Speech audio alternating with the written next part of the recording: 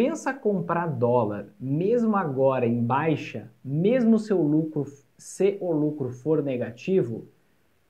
Essa é uma ótima pergunta. Ó.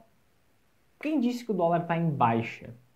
Né? Se a gente olhar, por exemplo, de maio de 2020 até agora, novembro de 2020, nesse momento, parece que o dólar está em baixa. Por quê? Porque ele chegou a 5,99, chegou a quase 6 reais.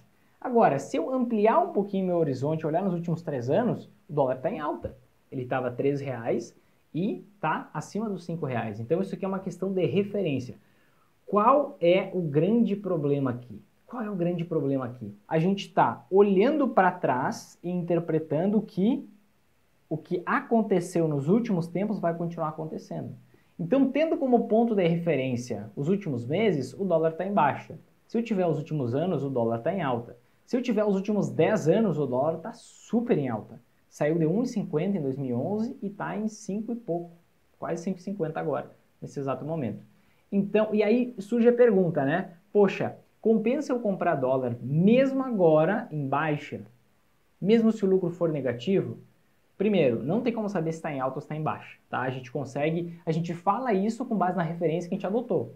Que aí a tua referência nesse momento eu acredito que seja os últimos meses, se eu tiver como referência os últimos três anos, vai ser uma super alta. Se eu tiver a referência nos últimos nove anos, vai ser uma alta maior ainda. Aqui tem um grande erro, tá? Esquece o passado.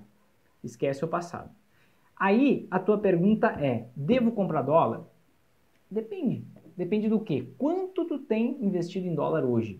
Ah, Vinícius, não tenho nada. Não tenho nada investido em dólar hoje. Tá. Tu tem dinheiro investido em ações hoje? Se tu tem dinheiro investido em ações hoje, o que, que acontece?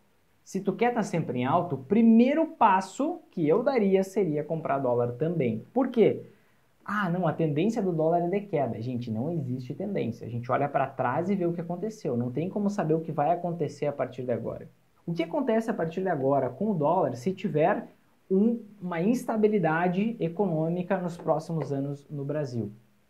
O que, que acontece? Ele vai se valorizar absurdamente. Ele vai chegar a 8 reais, a 10 reais, a 12 reais.